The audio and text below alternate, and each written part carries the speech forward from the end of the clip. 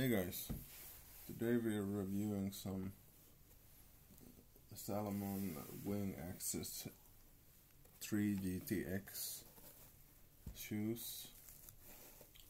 These are kind of hiking hiking boots, sort of.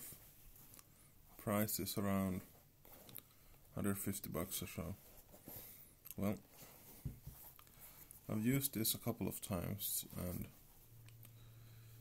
uh, I don't really like them too much. These are size 46, uh, 12 and European 46 uh, and let's see, two thirds UK 11 and a half. I usually have my size in US 11, 11 and a half, so you need them to be like half size bigger than you're supposed to have and they still were kind of tight so well they come which means they should be splash proof not probably waterproof but if you walk in a puddle of water you shouldn't get your foot wet. You have to reapply it but it's it's uh, it works pretty well at least from my experience.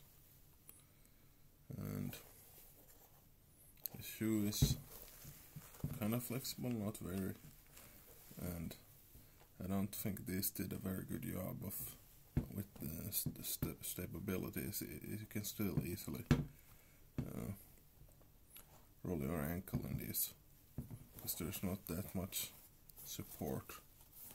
But they're they're pretty they have a, a, different kind of shoelace system here that you have to like tighten this to make the shoe tighter. Just pull this down or you have to press down a, a button here and pull it and pull it up. That's how that works. It's a little bit different but it's not bad I guess. Well, if you have any questions about these shoes or anything else, guys, leave some comments down below. Okay, thank you guys for watching and I'll see you next time.